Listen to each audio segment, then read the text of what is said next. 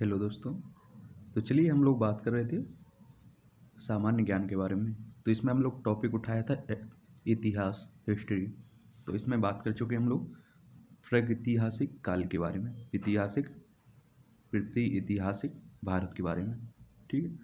अब बात करेंगे हम लोग इसमें सिंधु घाटी या सब, हड़प्पा सभ्यता के बारे में, ठीक है? याद रखिए, सामान्य ज्ञान से संबंधित आपके जितने भी चैप्टर खत्म होते जा रहे हैं वो सामान्य नाम के, सामान्य ज्ञान के नाम से जो प्ले लिस्ट सूची बनी हुई है, उसी में डली हुई ठीक? तो सिंधु घाटी या हड़प्पा सभ्यता का समय रहा है पच्चीस सौ ईसा पूर्व से सत्रह सौ पचास ईसा पूर्व तक। सैंधव सभ्यता आदि ऐतिहासिक काल की सभ्यता थी। हबड़ा, हड़प्पा संस्कृति को कांस युगीन सभ्यता भी कहते हैं। हड़प्पा सभ्यता को क्या कहते हैं? कांस युगीन सभ्यता। हड़प्पा हड़प्पा के लोगों को तांबे और टिन मिलाकर कांसा बनाने की विधि आती थी। ताम्र पाषाणिक पृष्ठभूमि पर सिंधु घाटी नामक विकसित सभ्यता का आविर्भाव हुआ, जिसका केंद्र भारतीय उपमहाद्वीप के पश्चिमोत्तर भाग में था। हड़प्पा टीले का सर्वप्रथम उल्लेख 1826 में चार्ल्स मैसन द्वारा किया गया।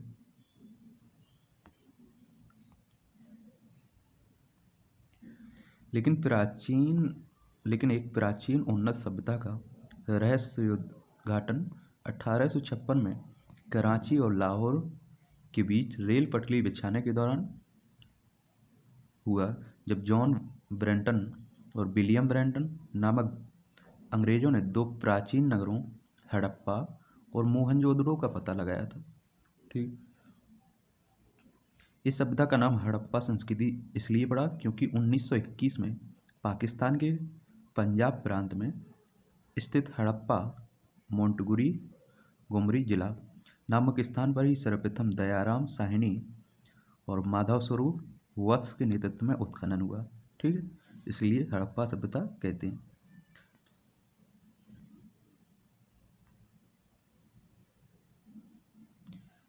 इस सभ्यता की, इस प्राचीन सभ्यता के दूसरे महत्वपूर्ण स्थल मोहनजोदड़ो है, जिसे मृतकों का टीला भी कहा जाता है।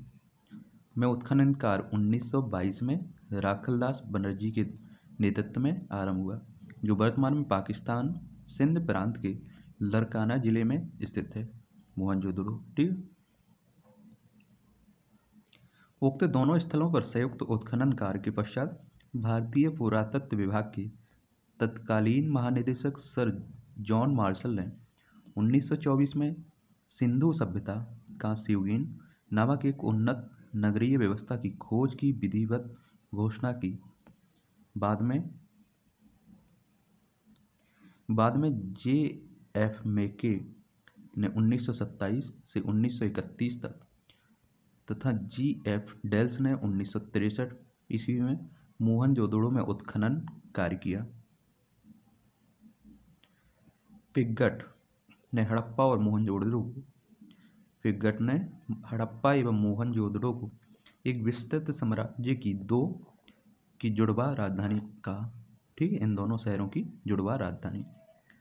वैसे तो हड़प्पा सभ्यता का केंद्र पंजाब और सिंध मुख्यतः सिंधु घाटी में ही है, लेकिन सिंधव सभ्यता दक्षिण और पूर्व में बलूचिस्तान, गुजरात, राजस्थान, हरियाणा, पश्चिमी उत्तर प्रदेश, जम्मू, उत्तरी अफ़गानिस्तान तक विस्तृत है। यद्यपि हड़प्पा सभ्यता के लगभग एक हज़ार स्थलों के बारे में जानकारी प्राप्त हो चुकी है, लेकिन इनमें से केवल छः को ही नगर माना जाता है। हड़प्पा, मोहनजोदड़ो, सिंध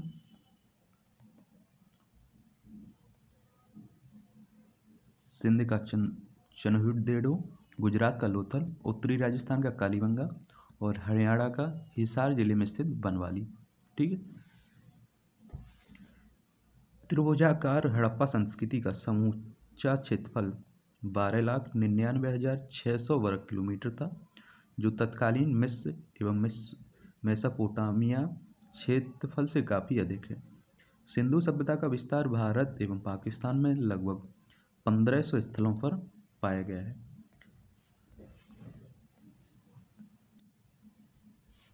ईस्ट में आलमपुर, उत्तर प्रदेश तक नॉर्थ में मांदा, कश्मीर तक और साउथ में दायमाबाद, महाराष्ट्र तक और वेस्ट में सूतकांग, गेडोर, पाकिस्तान तक। ठीक है?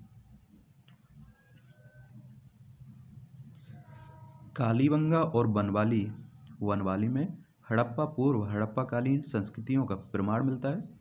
यहाँ बिना पकी ईंटों के चबूतरे, सड़कों तथा नालियों के अवशेष हड़प्पा युगीन हैं। सूत कांगेडोर और शोरकोतदा जैसे समुद्री समुद्र तटीय नगरों में भी इस सभ्यता के उन्नत रूप से दर्शन मिलते हैं, जहाँ नगर दुर्ग प्राप्त होते हैं। गुजरात के काठियावाड़ प्रायद्वीप में स्थित रंगपुर और रोज रोजडी नामक स्थल में इस सभ्यता की उत्तरावस्था का संकेत मिलता है। पिथम पिथम नगर नियोजन, हड़प्पा संस्कृति की सर्वोत्कृष्ट विशेषता इसका नगर नियोजन है।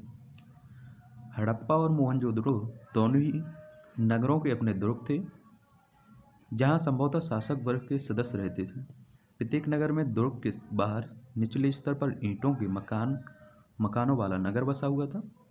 अलेक्जेंडर कनिंघम को भारतीय पुरातत्व पुरातत्व का जनक कहा जाता है, इसे याद रखना। अलेक्जेंडर कनिंगम को भारतीय पुरातत्व का जनक कहा जाता है। भारतीय पुरातत्व सर्वेक्षण संस्कृति मंत्रालय के अधीन एक विभाग है। याद रखना, पूछा जा सकता है। भारतीय पुरातत्व सर्वेक्षण किस मंत्रालय के अधीन आता है? संस्कृति मंत्रालय की। आगे बात करते हैं। सिंधु घाटी सभ्यता, सिंधु घाटी सभ्यता का काल निर्धारण। रेडियो कार्बन विधि। 2500 ईसा पूर्व से 1700 ईसा पूर्व तक है। डीपी अकबाल के अनुसार सिंधु सभ्यता का काल 2350 ईसा पूर्व से 1750 ईसा पूर्व तक है।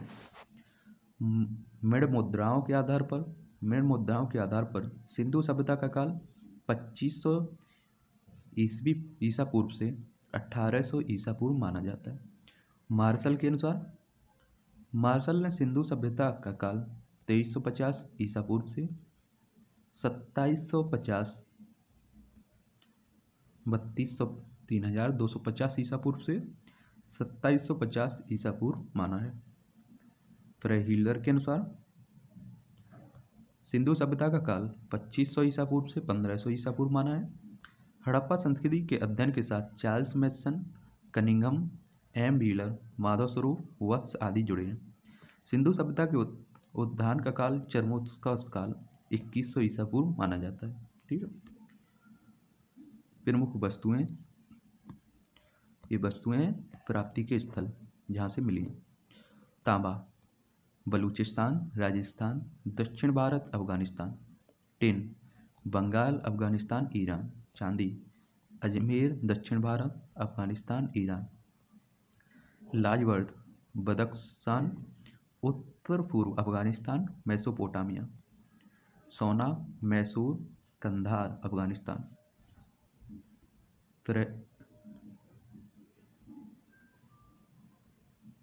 स्फटिक, पामीर, कश्मीर, फारस। जामोनिया, महाराष्ट्र में। संघ, कौड़ी, दक्षिण भारत और सौराष्ट्र। गोमेद, सौराष्ट्र। सेलखड़ी बलूचिस्तान, राजस्थान। सीसा, ईरान, अफ़गानिस्तान एवं राजस्थान। हरित नील मणि ईरान में। नीलमणि महाराष्ट्र में, ठीक है? अब बात करते हैं हड़प्पा संस्कृति के पतन के कारण। हड़प्पा संस्कृति के पतन के कारण। ये पतन के कारण है और ये मत के संस्थापक नदी की शुष्कता सूद और अग्रवाल के अनुसार अस्थिर नदी तंत्र लैम्बरिक जलवायु परिवर्तन आर एल स्टीन और A S A N Ghosh. प्राकृतिक आपदा के यू आर कैनेडी। भूकंप रेइक्स डेल्स पा, पारिस्थितिकी असंतुलन फेयर सर्विस। आर्यों का आक्रमण आर मार्टिमर बाह्य आक्रमण गार्डन चाइल्ड और स्टूवर्ट पिगट बाढ़, मेकी राव, मार्शल। ठीक है?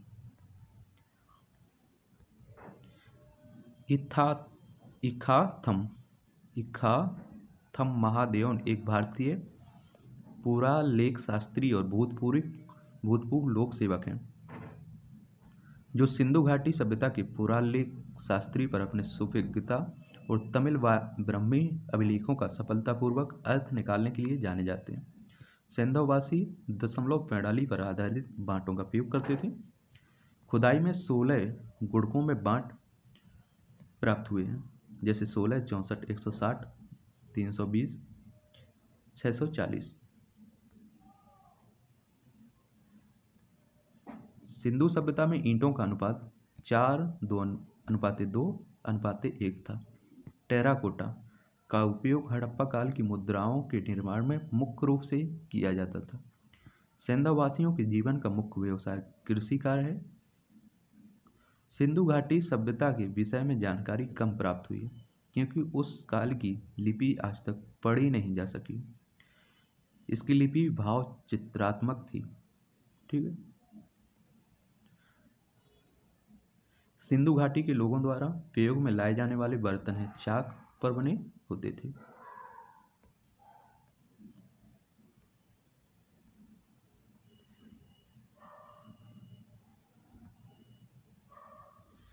पतली गर्दन वाले बड़े आकार के घड़े और लाल रंग के बर्तनों पर काले रंग की चित्रकारी हड़प्पा के बर्तनों की मुख्य विशेषता थी। सिंधु सभ्यता से प्राप्त अनाज, चावल, जौ खजूर, गेहूँ, कपास, तरबूज, मटर ब्रासिका जुनसी तिल एवं सरसों हैं। हड़प्पा सभ्यता के सर्वाधिक स्थल गुजरात राज्य में मिले पहली बार कपास उपजाने का श्रेय हड़प्पा वासियों को जाता है। ठीक है? यहाँ के लोग लकड़ी के हलों का प्रयोग जुताई के लिए तथा पत्थर के हंसियों का उपयोग फ़सल कटाई के लिए करते थे। सर्वाधिक स्वास्थ्य चिन्ह के अवशेष हड़प्पा सभ्यता से मिले हैं। लोथल में मिट्टी से निर्मित घोड़े की प्रतिमा प्राप्त हुई है। सिंधावासी मात्र देवी की पूजा करते थे। चावल के प्रथम साक्ष्य लोथल एवं रंगपुर से मिले हैं।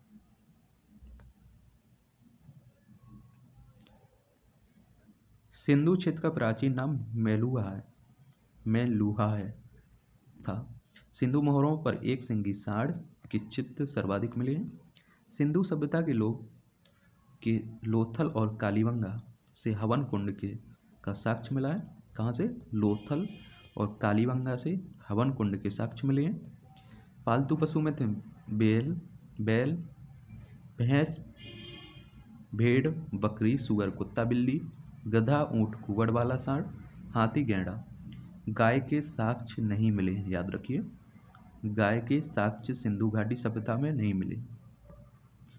ऋग्वेद में हड़प्पा सभ्यता को हर यूपिया कहते हैं। हर यूपिया कहा जाता है, ठीक? विश्व में चांदी का सर्वप्रथम सर्वप्रथम भारत में पाई गई, ठीक है, हड़प्पा सभ्यता में। सिंधु सभ्यता का मुख्य केंद्र हड़प्पा था।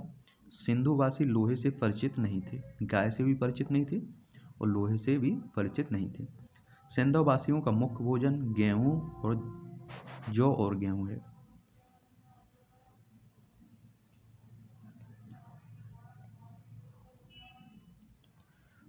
मोहनजोदड़ो की मोहनजोदड़ो की मुख्य सड़क दस मीटर चौड़ी थी।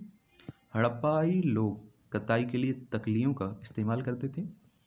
हड़प्पे हड़प्पाई लोग नाव बनाने का काम भी करते थे। सेंधव कालीन मोहरें बनाने में सर्वाधिक उपयोग सैल खड़ी का किया जाता था, ठीक है? स्त्री मेड मूर्तियाँ, मिट्टी की मूर्तियाँ, अधिक मिलने से ऐसा अनुमान लगाया गया जाता है कि सेंधव समाज मात्र सत्तात्मक था।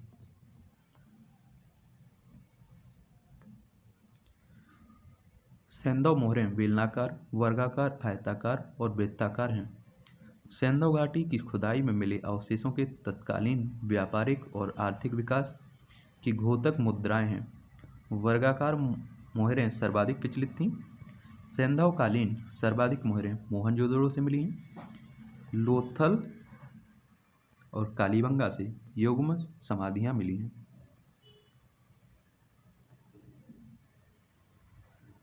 हड़प्पा कालीन पुराता पुरास्थल कुड़ाल से चांदी के दो मुकुट मिले हैं। हड़प्पा में सबों को दफनाने, जबकि मोहनजोदड़ो में सबों को जलाने की प्रथा थी। हड़प्पा में क्या था? हड़प्पा में लोग सबों को दफनाते थे और मोहनजोदड़ो जोदड़ो में जलाने की प्रथा थी, ठीक? लोथल सुरकोतदा सिंधु सभ्यता का बंदरगाह था। कौन कौन से? लोथर और सुरकोतदा लोथल से एक तराजू मिली है। सैंधववासी मिठास के लिए शहद का प्रयोग करते थे। पर्दा प्रथा एवं वैश्याविति सैंधव सभ्यता में प्रचलित थी।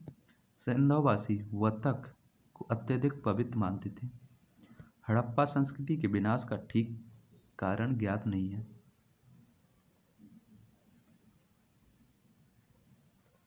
सिंधु नदी की बाढ़ सिंधु नदी का मार्ग बदलना, वर्षा की कमी, भूकंप एवं विदेशी आक्रमण जैसे कारण समय समय पर बताए गए हैं। ठीक है, इसके विनाश के। सैंधव सभ्यता के विनाश का संभवतः सबसे प्रभावी कारण है बाढ़। हड़प्पा से तांबे की बनी हुई एक इक्का गाड़ी प्राप्त हुई है।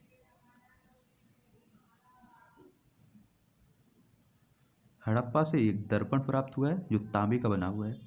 हड़प्पा हड़प्पा से प्राप्त मुद्रा में गरुड़ का अंकन मिला है। मोहनजोदड़ो में सबसे बड़ा भवन विशाल अन्नागार मिला है। कहाँ है विशाल अन्नागार? मोहनजोदड़ो में। मोहनजोदड़ो से सूती व कपड़े के साक्ष तथा नर्क, नर्तकी की एक कांस मूर्ति मिली है। कांस की नर्तकी, उसकी मूर्ति कला का सर्वश्रेष्ठ नमूना है। मोहनजोदड़ो से पाँच बेलनाकाय मुद्राएँ प्राप्त हुई हैं। सिंधु सभ्यता के प्रमुख स्थल लोथल में बंदरगाह का अस्तित्व मिला है, जहाँ विदेशी जलयानों का आवागमन होता था। लोथल गुजरात के अहमदाबाद से 80 किलोमीटर दूर अरब सागर तट पर खम्बात की खाड़ी में स्थित है। ठीक है?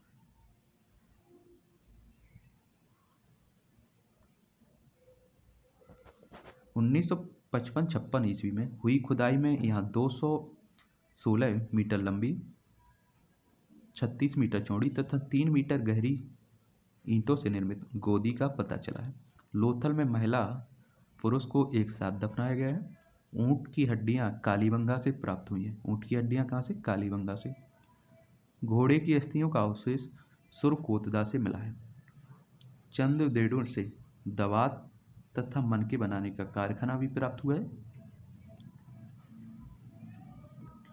बात करते हैं कुछ धार्मिक प्रतीक चिन्हों के बारे में, ठीक ताबीज इसके द्वारा वे भौतिक व्राधियों अथवा प्रेतात्माओं से छुटकारा पाने का प्रयास करते थे। स्वास्तिक सूर्योपासना का प्रतीक यह चिन्ह संभवतः हड़प्पा सभ्यता की देन है। तीसरा, योगी के रूप में बैठे हुए पुरुष शिव शिव को आज भी योगीश्वर के नाम से भी संबोधित किया जाता है। सिरंग। सिंह महाभारत में शिव को त्रिसिंह कहा जाता था। सिंह, शिव से संबंधित है। बैल, संहारकारी देवता शिव का वाहन था। यह सर्वाधिक धार्मिक महत्व का पशु था। बकरा बलि हेतु उपयुक्त होता था। भैंसा, एक मुद्रा पर भैंसा व्यक्ति को उछाले हुए एवं एक अन्य मुद्रा पर व्यक्तियों के समूह पर आक्रमण करते हुए दिखाया गया है, जो कि किसी देवता के शत्रुओं पर विजय का प्रतीक है। नांग। नांग इसकी, इस, इनकी भी पूजा होती थी। बैल, भेड़, बकरी की हड्डियों के लिए, पशु बलि का घोतक कांस्य नृत्य नृत्य नर्तकी मंदिर की कल्पना करने पर नृत्य भी धार्मिक महत्व का हो सकता है। सबों के साथ बर्तन एवं अन्य सामग्री, मृत्यु के बाद जीवन में विश्वास, सबों को उत्तर दक्षिण दिशा में लिटाना, धार्मिक विश्वास का घोतक दो शवों का एक साथ गाड़ा जाना, पुरुष की मृत्यु के बाद संभवतः स्त्री का सती होना, सिंधु घाटी की प्राचीन संस्कृति और आज के हिंदू धर्म के बीच जैव संबंध का प्रमाण पत्थर पेड़ पशु की पूजा से मिलते हैं। अब बात करते हैं हम लोग। सिंधु सभ्यता के महत्वपूर्ण उत्खनन स्थल उनकी तटीय स्थिति, ठीक है? ये नदी या तट हो गया एक खुदाई वर्ष हो गया, जगह का नाम और उत्खनन करता। ठीक है? ठीक है? तो सबसे पहले बात करते हैं हम लोग हड़प्पा सभ्यता के बारे में। ये है मांट मांट गुमरी, पंजाब, पाकिस्तान में है। ठीक है? ये रावी नदी के तट पर है। इसकी खोज हुई 1921 में दयाराम साहिनी ने। फिर दूसरा है मोहनजोदड़ो। ये है सिंध पाकिस्तान में, ये सिंधु नदी के तट पर है। 1922 में राखलदास बनर्जी ने इसकी खोज की।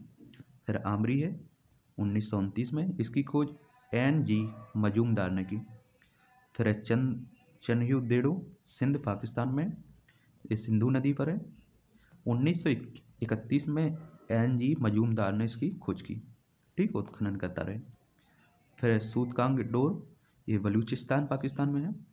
दस नदी पर है। 1927 में सर ओरेल स्टीन ने इसकी खोज की। फिर है आलमगीरपुर। ये मेरठ, उत्तर प्रदेश में हिंडन नदी पर। उन्नीस सौ बावन से पचपन ईस्वी में यज्ञदत्त शर्मा ने इसकी खोज की।